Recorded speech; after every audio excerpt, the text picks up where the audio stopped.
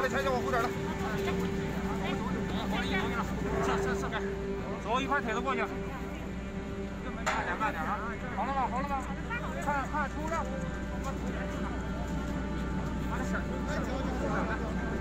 那包括看看有有有没有受伤的地方，同时呢还看看包括把他的眼睛啊进行一下防护。总体来说，这次救援呢，呃，它的进度啊比我们预想的快。我们已经发现了人员提上来以后，马上进行其他的进行搜索和搜救。